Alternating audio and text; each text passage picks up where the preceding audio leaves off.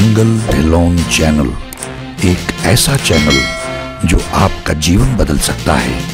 जैसे अब तक बहुतों का जीवन बदल चुका है। मंगल ढिलोन चैनल। नमस्कार, आदाब, सत धन गुरु नानक धन रंकार धन गुरु पिता ओंकारा जी महाराज। गुरु प्रेमियों रब भगवान से मेरी बातें। माई कन्वर्सेशन विद गॉड रब नाल मेरिया गल्ला। इस श्रृंखला में ये एपिसोड नंबर तिरसठ होगा 63 इससे पहले एपिसोड में मैंने ज़िक्र किया कैसे प्रभु जी ने मुझे लिखित रूप में ये मेरा मार्गदर्शन किया कि वो सफ़ेद रंग की कुर्सियाँ अपने दफ्तर में मत रख, साथ वाले वाहन वाले स्थान में जहाँ गैरेज है उसमें रख ले। जब ज़्यादा मनुष्य आ जाए तो रख लेना। वरना इनको वहाँ रख। अब उसका कोई रीज़न होगा, कोई लॉजिक होगा, जिसकी वजह से उन्होंने मुझे ये निर्देश दिया और मैंने जो भी निर्देश आता था उसको मैं फॉलो करता था। Without even thinking without asking any question क्योंकि मैं उससे पहले बहुत सारे सवाल कर चुका था बहुत अटक चुका था, अड़ चुका था, लेकिन यहाँ तक आते आते तकरीबन मामला साफ़ हो गया था। वही जो मैंने कहा था कि उन्होंने तकरीबन छः सात पेज का उत्तर दिया था। छः सात पेज से मेरा मतलब है कि वो आते थे जब उनको मैंने प्रिंट आउट निकाले उनके।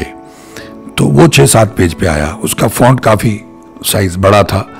तो इसलिए अगर बारीक फॉन्ट में अगर आप उसको करेंगे और पूरे पेज पे करेंगे तो शायद तीन पेज होंगे। या दो ढाई पेज में भी आ सकता है। तो इसी कंटिन्यूएशन में मतलब मैंने पहले भी ये ज़िक्र किया कि जैसे कोई बहुत कंसर्न पिता हो जिसको तुम्हारा बहुत फ़िक्र हो। तो वो कैसे एक एक चीज़? अब देखिए, ये जो कुछ भी हमें बता रहे थे मुझे नहीं लगता कि उनको ज़रूरत थी। लेकिन जैसा मैंने कहा बार बार भावना का भूखा है। मेरी भावना को देख के, मेरे प्रेम को देख के, मेरी भाव विवलता को देख के जैसा उन्होंने कहा कि तेरा, तूने जो कर्म किए थे, उसकी वजह से तेरा मन, तेरी आत्मा पवित्र है। लेकिन उसमें जो खोट आ गए, मिलावट आ गई, जिसके लिए मैं बार बार ये प्रार्थनाएँ करता हूँ कि हम मैल इकट्ठी कर लेते हैं, पता नहीं कितने जन्मों से चले हुए हैं तो फिर जो आपके गुण होते हैं वो दब जाते हैं उसमें। और जो दुर्गुण होते हैं, जो बुरे गुण हैं आपके, जो बुराइयाँ हैं, वो उस पर कब्जा कर लेती हैं। तो कई बार आपने देखा होगा, एक आदमी बहुत दारू पीता है, मांस खाता है, लेकिन दिल का बड़ा अच्छा है। कितने ही मित्रों के बारे में जिनके नाम पुराने, उस वक्त के नाम, यानी सदियों पहले के नाम, प्रलय से पहले के नाम बताए उन्होंने और कहा कि दिल का अच्छा है, ये आदमी अच्छा है, लेकिन ये ये ये गड़बड़ कर रहा है। तो मतलब नीचे को जा रहे थे वो लोग, उनको भी मैंने सबको बताया। खैर तो ये यहाँ उन्होंने जब वो मुझे गैरेज में रखने के लिए कह दिया, कुर्सियाँ वगैरह, सफ़ेद रंग की जो प्लास्टिक की कुर्सियाँ थी ऑफ़िस में आगे उन्होंने लिखा कि हम लोग घर में चीज़ें ले आते हैं अक्सर। हम सबका ये हाल है। और मुझे तो जब हमने फ़िल्म दिखाई अपनी खालसा, और इतनी सारी फ़िल्म हम दिखाने गए, और मैं सत्संग करने जाता था या कॉलेजेस में गया, हम नशों वाली फ़िल्म दिखाई, सर्वनाश, और उसके अलावा भी कुछ फ़ंक्शंस में लोग मुझे बुला लेते थे। कभी कहीं चीफ गेस्ट के तौर पे बुला लिया, कभी कैसे बुला लिया। तो वो ट्रॉफीज वगैरह देते रहते थे। तो एक किसी फ़ंक्शन में मैं गया, वहाँ उन लोगों ने मुझे एक नटराज की मूर्ति, शिवजी का ही वो रूप है तो नटराज की एक मूर्ति, एक एक स्टैचू मुझे दिया सिल्वर कलर में एक ट्रॉफी के तौर पे। तो मैंने ला के उसको रख दिया जैसे हम लोग आमतौर पे रख देते हैं। हमारे हॉल में एक कॉर्नर पीस था, उस पर रखा हुआ था। तो वहाँ से मुझे लिखित रूप में आया कि बेटा तुम्हारे यहाँ नटराज जी विराजमान है। तो उनको बेटा सही स्थान पे रख। मतलब ये था कि हमने तो उसको एक डेकोरेटिव पीस समझ के रखा हुआ है। हॉल में रख दिया, जैसे आमतौर पे सब लोग रख देते हैं। तो ने उसके स्थान पे रख।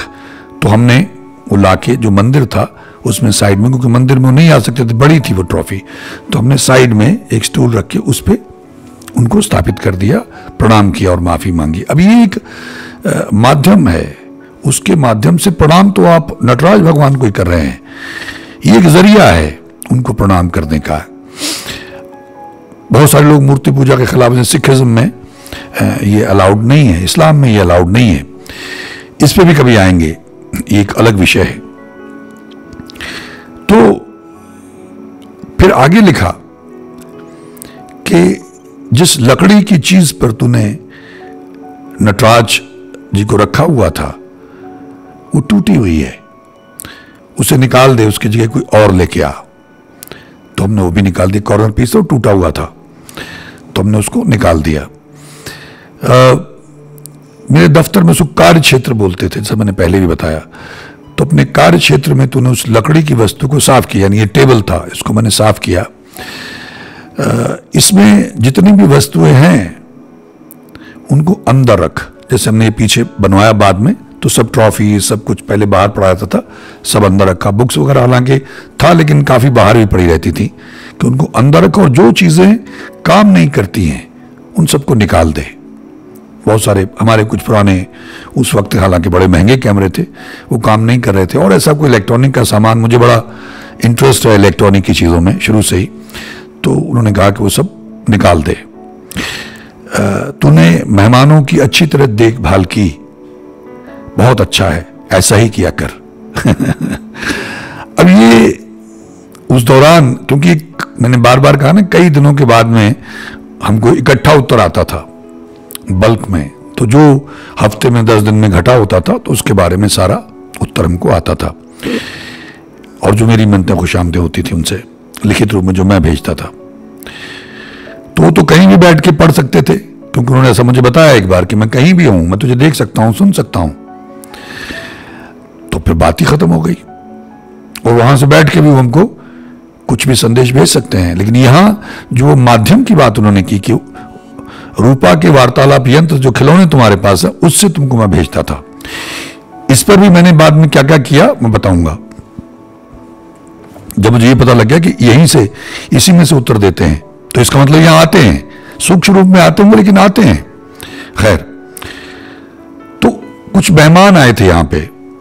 तो उनको अब लोगों ने जो भी हमसे बन पड़ता है अ, क्योंकि जो हमारे यहाँ सेवादार हैं वो तो आते जाते रहते हैं भागते रहते हैं अ, तो फिर हम लोगों को खुद ही कोशिश करनी मेनली डॉक्टर रजनी को। अ, मैं तो उनके साथ में व्यस्त हो जाता हूँ या सत्संग शुरू हो जाता है या उनके सवाल होते हैं या उनकी मुश्किलें होती हैं उनको सुनने में और वही ये सारा प्रबंध देखती हैं।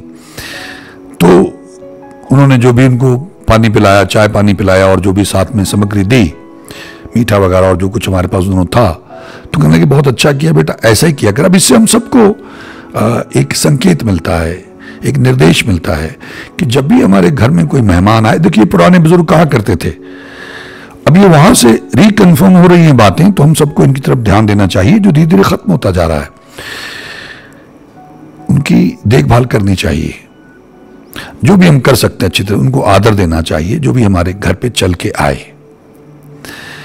आजकल हालात बदल गए हैं। लोग मतलब घर में झगड़े हो जाते हैं। बिरकुटी तन जाती है। माथे पर जो है ना, सिलवटें आ जाती हैं कि त्योड़ियाँ उसको बोलते हैं हमारे पंजाबी में कि ये कैसे आ गया, ये क्यों आ गया? नहीं, तुम अपना फ़र्ज़ निभाना। जो तुम्हारे पास है, जो बन पड़े। लेकिन और कुछ नहीं तो उनको मुस्कुरा के तो मिलना। At least they should get good feeling अगर वो आपके घर पे आ गए हैं। जैसे कहते हैं मेहमान जो है वो भगवान का रूप होता है। तो ये मुझे वहाँ से निर्देश आया। आगे उन्होंने अगले पैराग्राफ में जो लिखा, वो बहुत कमाल था। मेरे जिन लोगों के साथ में संबंध रहे मैंने कहा कि मेरी इन्वॉल्वमेंट्स रही। मैं तो शादी करना चाहता था, लेकिन नहीं, गड़बड़ हो गया। उसके बाद में मेरा एक दौर आया जिसमें मैं फ्रस्ट्रेट हो गया।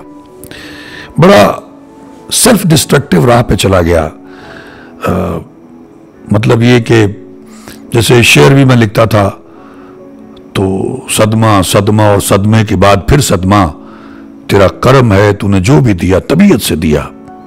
मेरे दुश्मन की ये तारीफ़ है कि वो जब मुझे कत्ल करता है तो खुद भी साथ मरता है। इस तरह की शेर वही जिस्म वही जहाँ वही रंगत लेकिन जरा सी नज़र क्या बदली कि सब बदल गया।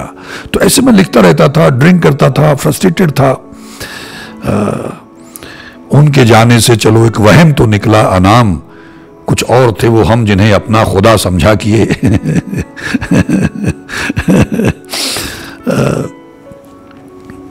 मतलब ऐसे बैठे बैठे लिखता रहता था फ्रस्ट्रेटेड था कि धोखे ही मिले मुझे। मेरी वफादारी जितनी मैंने की, जितना मैं बहुत अपने चरित्र को मानता था, जो संस्कार मेरी माँ ने मुझे दिए थे तो उनको बचाने की मैंने भरपूर कोशिश की, लेकिन बचा नहीं पाया। तो अब पीने खाने लग गया तो और कुछ लेडीज़ जो मैंने पहले भी ज़िक्र किया स्टूडियोज में या कहीं शूटिंग में या किसी पार्टी में मिलती थी, नंबर वगैरह एक्सचेंज कर लेती थी, और फ़ोन करना शुरू करती थी। और कमाल की बात यह थी कि मैंने कभी भी मेरा ईश्वर साक्षी है मैंने कभी भी फ़र्स्ट स्टेप नहीं लिया मैंने इनिशिएटिव नहीं लिया। उसमें आप मेरी ईगो कह सकते हैं आ, मेरी सेल्फ रिस्पेक्ट कह सकते हैं या ये भय कह सकते हैं कि सामने से मना ना हो कर दे कोई। तो मैं इंसल्टेड महसूस ना करूँ अपमानित ना महसूस करूँ इसलिए मैंने कभी भी पहल नहीं की किसी भी रिश्ते में जितने भी मेरे हुए। उन लड़कियों ने ही पहल की। तो अब वो नंबर वगैरह एक्सचेंज कर लेते थे, फिर फ़ोन करते थे, और कभी मैं ड्रिंक किए बैठा हूँ तो मैं पीजी रहता था वकोला में। सेंटा क्रूज ईस्ट में है ये जगह। तो कुछ लोग, कुछ ऐसी लेडीज़ थी, लड़कियाँ थी, जो मेरा मज़ाक उड़ाने लगी, क्योंकि मैं फिर कहीं ना कहीं बात करता था चरित्र की। और मतलब जिससे मैं शादी करूँगा। तो जो मैं टर्निंग पॉइंट की बात कर रहा हूँ, जहाँ से मैं बिगड़ा। और बहुत सेल्फ डिस्ट्रक्टिव राह पे चला गया, भटक गया। वो मेरी जो पुरुषत्व है, मेरी जो मर्दानगी है, उस पर कमेंट पास करने लग जाती थी कि हमको संदेह है कि तुम नौजवान हो खूबसूरत हो सब कुछ और तुम्हारी बातें किस तरह की हैं? यानी तुम हमें और मैं उनको इग्नोर करता कि नहीं तरीके से टालता था कि नहीं भाई मैं इस गलत राह पे नहीं जाना चाहता हूँ। और दे ऑल वो वेल ऑफ़ ठीक ठाक अच्छे घरों से थे अमीर घरों से थे। आ, सब कुछ था उनके पास शक्ल सूरत भी सब कुछ था। लेकिन फिर वही जो जो नकारात्मक शक्तियाँ हैं उनका प्रयास चल रहा होगा तो और फिर ऊपर से आप अगर मदरा पान कर ले तो कहने क्या है? और मांस खा ले तो फिर और क्या कहना? सोने पे सुहागा हो गया बुद्धि आपकी भ्रष्ट है। और उनका पहरा उनका ज़ोर चलेगा आपके ऊपर। और ऐसे ही मैं उनका शिकार हुआ तो उसके बाद तो फिर एक भटकाव का दौर रहा कई साल तक। आ, नहीं समझ पाया मैं। ऐसा नहीं है कि मैं दिन रात इसी में शूटिंग की है उसमें लगे हुए अपना करे लेकिन आ, पहले जो मैं अवॉइड करता था जो बचता था वो मैंने बंद कर दिया था। मुझे लगता था कि जब मेरे भाग्य में ऐसा है, जब मेरे साथ ऐसा हुआ है, ईश्वर ने ऐसा मेरे साथ क्यों किया? एक नाराज़गी थी जैसे मैंने पी के ईश्वर से झगड़ा करता था गाली गलौज करता था। मेरे तमाम शिकवे गिले थे ईश्वर से, और मेरे अपने तमाम तर्क थे लॉजिक थे। वो तमाम नंबर रहे मेरे पास तो आगे नंबर जो है, इस फ़ोन से दूसरे फ़ोन में, दूसरे फ़ोन में, ऐसे मेरे फ़ोन में पड़े रहे। बेशक उनसे संबंध खत्म हो गए, फिर कभी नहीं मिले, वो एक दौर आया, वो खत्म हो गया, लेकिन वो नंबर पड़े रहे। मुझे इसका एहसास भी नहीं था। इवन कुछ एक गर्लफ्रेंड्स मेरी जो थी, अब ऐसा नहीं कि सबके साथ में संबंध हुए। गर्लफ्रेंड से मतलब जो आपकी फ्रेंड्स बन जाती हैं इंडस्ट्री में। अब उनके क्या नजरियात थे, मुझे नहीं मालूम है। हालाँकि बाद में मुझे पता चला कि हाँ उसका नज़रिया ये था एंगल ये था। लेकिन मैं फिर मतलब वही जो एक बेसिक स्वभाव आपका वो रहता है कि मैंने कभी पहल नहीं की। तो उसके चक्कर में बचा भी मैं कई बार। खैर तो यहाँ जो मुझे लिख के आया। ये मैंने भूमिका इसलिए दी आपको कि जब वो लिख के आया मुझे और मैं उसको सीधे बताऊँगा तो एकदम से जो हमारे दर्शक हैं, वो पता नहीं क्या क्या सोचने लग जाए। इसलिए मैंने बताया कि इस तरह का माहौल रहा था, वो नंबर थे। तो अगले पैराग्राफ में लिखा हुआ, गुरु पिता ओंकारा महाराज ने लिख के भेजा हुआ, कि बेटा, तेरे वार्तालाप यंत्र में जितनी भी दुष्ट स्त्रियों के अंक हैं वो सब निकाल दे। जैसे उन्होंने कहा, ये खराब चीज़ें निकाल दे, ये निकाल दे, वो निकाल दे, वो टूटी हुई चीज़, लकड़ी की निकाल दे, ये कुर्सियाँ निकाल दे। तो अपने वार्तालाप यंत्र में जितने भी दुष्ट स्त्रियों के अंक हैं, वो भी निकाल दे। एक आगे लिखते हैं, एक बाहरी दुष्ट स्त्री का अंक मैंने निकाल दिया है। उसका फेसबुक से भी मैंने निकाल दिया है। अब मैं ये सोचने लग गया कि मतलब ये किसकी बात कर रहे हैं? तो कहने लगे, वो, जिसका संदेश आने पे तो बहुत खुश हुआ था।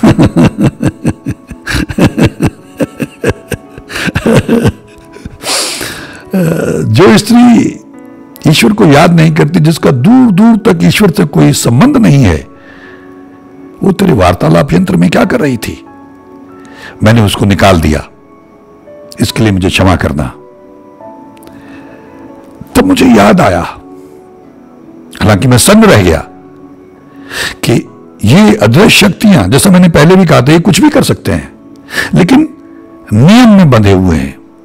उस मालिक के निज़ाम में, उसके सिस्टम में बंधे हुए उनसे बाहर नहीं जाते। तो क्योंकि मुझे बिना बताए उस स्त्री का अंक फेसबुक से भी उसकी आईडी गायब कर दी, जो वो फ्रेंड बनी हुई थी क्योंकि उसने मुझे मैसेंजर के ज़रिए हमने कम्युनिकेट किया था। और फ़ोन के अंदर से भी उसका नंबर उसने नंबर अपने भेजे थे मुझे, तीन चार नंबर थे तो वो निकाल दिए। ये मुझे बता के क्योंकि मुझे नहीं बताया मुझसे आज्ञा नहीं तो क्षमा याचना देखिए, कितनी बड़ी बात है। जिनके हम बच्चे हैं, जिनके दम से हमारा वजूद है फिर भी वहाँ सिस्टम ये है कि उन्होंने मुझसे कहा कि मुझे क्षमा करना। अब ये कौन स्त्री थी? एक फॉरेनर थी। किसी यूनिवर्सिटी में बहुत अच्छी पोजीशन में हाईएस्ट पोजीशन में थी वो। और यहाँ से लोग अक्सर कहते रहते हैं कि किसी को कनाडा जाना है एडमिशन लेनी है। तो मुझे लगा, यार, वो कहीं काम आ सकती है। और उसको मैं मिला था यहाँ चंडीगढ़ में पहले, बहुत पहले। तो उसके बाद में उसका नंबर नंबर मुझसे गुम गया। अचानक एक बार उसका मुझे मैसेज आया, जो इन्होंने लिखा उसमें कि जिसका संदेश आने पे तो बहुत खुश हुआ था, बेहद खुश हुआ था। और वाकई मैं बहुत खुश हुआ था, जो उसका आगे मैंने ढूंढ रहा था कि इसका मुझे नंबर आ गए हैं तो मैं किसी न किसी की मदद कर सकूँगा, लेकिन वो कैसी है? ये तो प्रभु जी को मालूम था, और मुझे ही मालूम था, क्योंकि उसने मुझे कुछ ऐसी बातें की थी उससे पहले। जिससे क्लियर था that she was interested in me तो अब उन्होंने फेसबुक से मैं उसको ढूंढता रहा। मुझे कहीं किसी उसमें था कि अरे, कुछ किसी कारणवश मैंने उसको मैसेज करना था, तब मुझे याद आया, जब उन्होंने यहाँ लिखा हुआ था कि अच्छा उन्होंने निकाल दिया। वो वाकई ड्रिंक करती है नॉनवेज खाती है और ईश्वर का नाम नहीं लेती है। हालाँकि बहुत बड़ी ऊँची पोजीशन में है, लेकिन उनके दृष्टिकोण से तो वो दुष्ट स्त्री है। उसका मेरे वार्तालाप यंत्र में, यानी मेरे फ़ोन में कोई काम नहीं है। उन्होंने निकाल दिया, मैं उनका ऋणी हूँ, उनका धन्यवादी हूँ। मुझे बचाया उन्होंने, हो सकता है आगे कुछ और गड़बड़ हो सकती थी। उसके बाद आगे लिखा उन्होंने, अभी इससे यह सिद्ध होता है कि वो सब कुछ उनको मालूम है। वो सब कुछ देखते हैं, यानी जब मैं उसका, उससे बात हो जाने के बाद, उसके नंबर आ जाने के बाद में, चैट हो जाने के बाद में, मैंने उसका नंबर सेव किया था तो मैं कुछ देर मैं खुश तो हुआ ही था, निश्चित रूप में। खूब हमने बातें की। जब फ़ोन भी आ गया, फ़ोन पे हम लोगों ने काफ़ी देर बातें की और उसके बारे में मैंने डॉक्टर रजनी को बताया भी कि ये फला है मैं उनका नाम नहीं ले रहा हूँ और फला जगह पे फलानी यूनिवर्सिटी में है और ये जो है बहुत हमारे काम आ सकती है। तो इस तरह की बातें मैंने की थी, खैर। और ये कमाल की बात यह कि उनको ये बात पहले की है।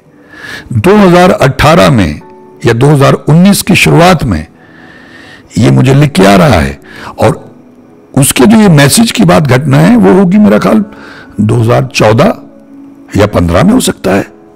मुझे एग्जैक्टली याद नहीं, लेकिन ऐसे कुछ काफ़ी पहले की बात थी वो। तो वो सब कुछ देख रहे हैं और इसका मतलब यह कि सब कुछ रिकॉर्ड हो रहा है। हर चीज़ रिकॉर्ड हो रही है।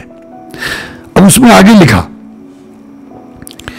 कि एक और स्त्री ये शायद लड़की लिखा था, जिसे तुम अपने चित्रकार में लेना चाहते हो। हम लोग फ़िल्म जो शहादत प्लान कर रहे थे, उसके लिए हम लोग तरह तरह जो लोग हम मिलते थे, तुम देखते रहते थे कि एन मौके पे हफड़ा दफड़ी नहीं हो कि बड़ी प्रेशर हो हमारे ऊपर के कास्टिंग कर दी है तो साथ साथ में देखते रहते हैं। और अगर सही तरह के किरदार बिफिटिंग जो उस रोल में सूट करेंगे अगर मिल जाते हैं तो भी साथ में देखते रहेंगे तैयारी करते रहते हैं। इस तरह की हमारी कोशिश थी। तो कहने लगे, वो एक लड़की जिसको तो अपने फ़िल्म कार्य में लेना चाहता था समथिंग लेने की तेरी योजना थी, जो अपनी, जो माँ बेटी दोनों आती थी तेरे पास नाम तो याद होगा तुझे।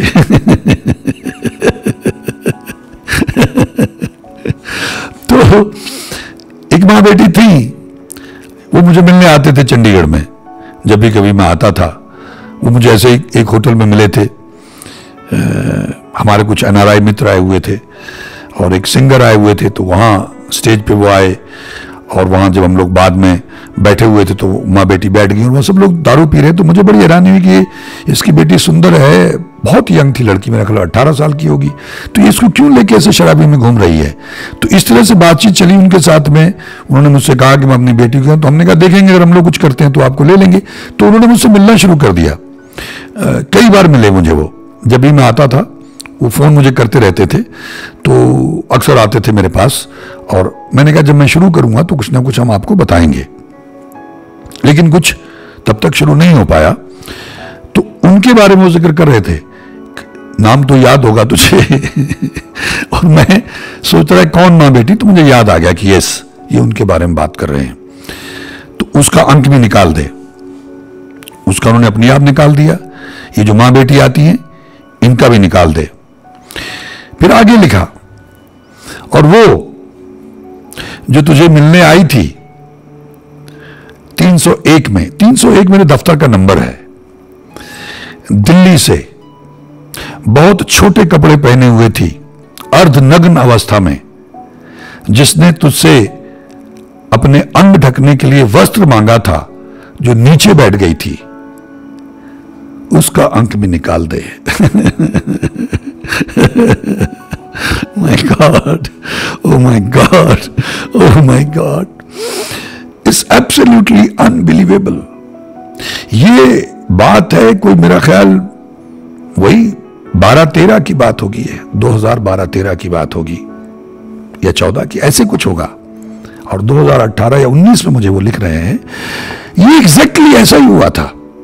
एक मोहतरमा है वो मॉडलिंग भी करती हैं और थोड़ा बहुत उन्होंने एक्ट भी किया है। वो बॉम्बे आई थी और मुझे मिलने आई ऑफ़िस में और इतने शॉर्ट उन्होंने कपड़े पहने हुए थे कि उसको देख के मैं बहुत एम्बेरस हो गया।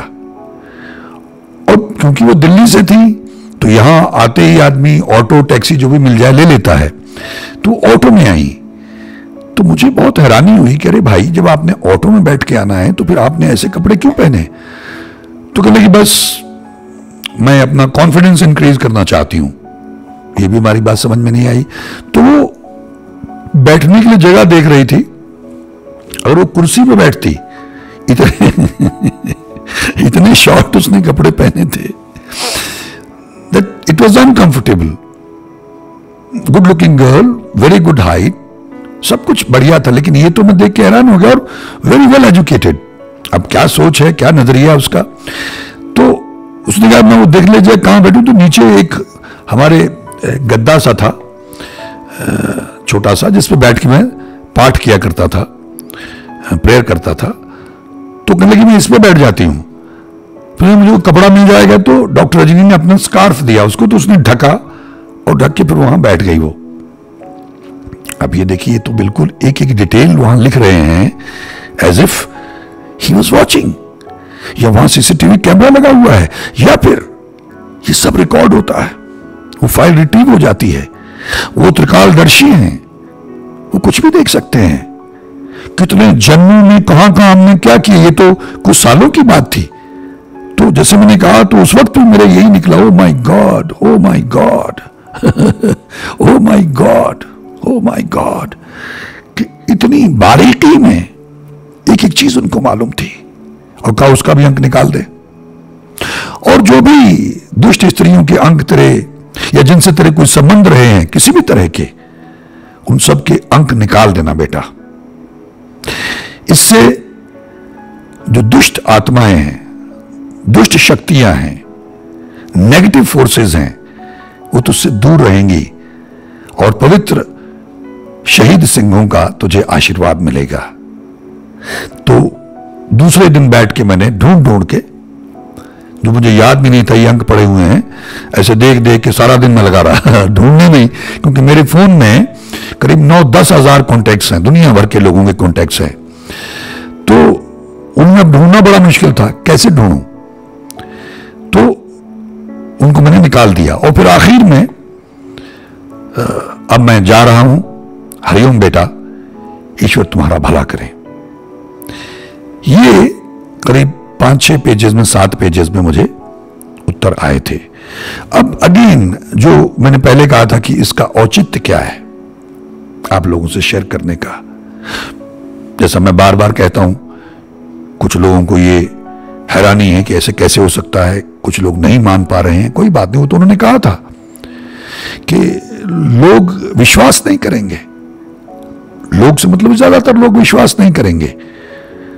करना चाहता है, लोगों का मार्गदर्शन, संसार का मार्गदर्शन, चित्र बनाना चाहता है, लोगों को बताना चाहता है, बता सकता है, आज्ञा है, लेकिन लोगों को विश्वास नहीं आएगा। तो अभी भी कुछ लोग इस तरह के प्रश्न करते रहते हैं, वो अपना दिमाग के घोड़े दौड़ाते रहते हैं कि ऐसे कैसे हो सकता है, वैसे कैसे हो सकता है तो आते रहते हैं ऐसे सवाल हम लोगों को। लेकिन मैं उनकी तरफ़ ज़्यादा तवज्जो नहीं दे रहा हूँ, क्योंकि हर आदमी का अपना एक लेवल है। कुछ लोगों की जो है ना, जो अगर वो पांचवी का है या पहली का विद्यार्थी है तो उसको पीएचडी का या बीए का या एमए का कोर्स समझ में नहीं आएगा। उसकी वो अवस्था नहीं है। उसने वो कर्म नहीं किए हैं। खैर तो ये सब कहने का मतलब क्या है? कि जो जो मेरे जीवन में घटा मैंने किया एक एक चीज़ पूरी क्लैरिटी के साथ उन्होंने मुझे बताई। मुझे निर्देश दिए, मेरा मार्गदर्शन किया। मेरी गाड़ी ट्रैक से जो उतरी हुई थी, उसको ट्रैक पे डाला। एक बहुत ही बहुत ही प्रेम करने वाले कंसर्न पिता की तरह। इसलिए मैं कहता हूँ तो मेरा रोम रोम ऋणी है। मेरे पास शब्द नहीं है। गुरु पिता ओंकारा जी का धन्यवाद करने के लिए, ईश्वर का, वाहिगुरु का, गॉड, अल्लाह का, गुरु नानक देव जी महाराज का धन्यवाद करने के लिए मेरे पास शब्द नहीं है। तो उसके बाद में जहाँ अड़चने थी, जिनकी वजह से तो अगर आपके जीवन में भी जिसके भी संबंध रहे हैं, जो भी इस तरह का शौकीन है गर्लफ्रेंड बनाने का या गैर स्त्रियों के साथ संबंध बनाने का, क्योंकि काम तो सबसे ऊपर और काम ने सबको मार लिया। इसने तो ऋषि मुनियों को नहीं छोड़ा, देवी देवताओं को नहीं छोड़ा है, शक्तियों को नहीं छोड़ा है। इस पर भी मैं कभी बात करूँगा, जो बहुत ही मतलब विचित्रतम है। यकीन नहीं आएगा। काम को लेके। तो अगर ऐसा किसी के जीवन में है, अपनी पत्नी के अलावा, क्योंकि अगर हमें तरक्की करनी है प्रोग्रेस करनी है प्रमोशन चाहिए तो फिर आपको सब कुराफातों से बचना होगा, सारा कचरा निकालना होगा, सच बोलना होगा। ईश्वर सत्य है, परम सत्य है। और सत्य बोलना ईश्वर से प्रेम है। सत्य बोलकर भी, सत्य परायण होकर भी हम ईश्वर को पा सकते हैं। सत्य बोलना कितना मुश्किल है, सत्य बोलते हैं तो लोग नाराज़ हो जाते हैं। झूठ उनको पसंद है, क्योंकि झूठ मीठा लगता है। झूठ मिसलीड करता है मिसगाइड करता है, भ्रम पैदा करता है, भटकाता है। इसलिए लोगों को झूठ ज़्यादा पसंद है। लेकिन आपने तो अल्टीमेट टारगेट देखना है, ईश्वर ईश्वरत्व को प्राप्त करना है। तो पहले तो कचरा निकालिए, माफिया मांगिए। उन्हें खुश रखिए, घर की लक्ष्मी को खुश रखें। और कोशिश करें, क्लेश से बचें। और क्लेश आमतौर पे घरों में इसलिए होते हैं। तो अगर आपके फ़ोन में भी इस तरह के पुरुषों के या इस तरह की स्त्रियों के अंक, यानी फ़ोन नंबर्स हैं तो उन्हें निकाल दीजिए, क्योंकि जब भी आपका वीक मोमेंट आएगा आप ड्रिंक करते हैं या क्लब का पब में जाते हैं क्लब में जाते हैं पार्टियों में जाते हैं, इस तरह के लोग आपको मिलते हैं तो आप सचेत रहना क्योंकि जो नकारात्मक शक्तियाँ हैं, जो ब्लैक फोर्सेस डार्क फोर्सेस हैं, वो हर वक्त अपने काम में लगी हुई हैं तो वो कभी भी आपको उलझा सकती है अपने मकर जाल में, किसी के माध्यम से। वो स्त्री या वो पुरुष, वो तो ज़रिया मात्र होंगे आपको गिराने के लिए, आपको भटकाने के लिए। पदभ्रष्ट करने के लिए। तो वो अंक, वो नंबर ही निकाल दो। मतलब आप उस समस्या की जड़ी खत्म कर दो। तो कैसे संपर्क होगा? और जब कभी ऐसा मौका आए तो बचना। जितना बच सकते हो, ईश्वर से प्रार्थना करना। घर से चलते वक्त ईश्वर का नाम लेके। राहदारी कहते हैं इसे, राहदारी बना के चलना। रास्ता साफ़ हो जाएगा, ईश्वर साथ होगा, शक्तियाँ साथ में होंगी। पाँच बार मूल मंत्र है, गायत्री मंत्र है, या और अपने अपने धर्म के मुताबिक आपके यहाँ के संत, महापुरुष आपको बताते होंगे। तो वो करके चला करें, प्रार्थना ईश्वर से, अल्लाह से, गॉड से, वाहिगुरु से करके चला करें, और रस्ते में भी भजन सुने, गाड़ी में गाने सुनने की बजाय, और ऐसे मौकों पे अलर्ट होइएगा। अगर कुछ लोगों की बात पकड़ में आई है, जो मेरे अपने निजी अनुभव हैं और जो कुछ भी मैं आपसे शेयर करता हूँ, ये पूर्ण सत्य है।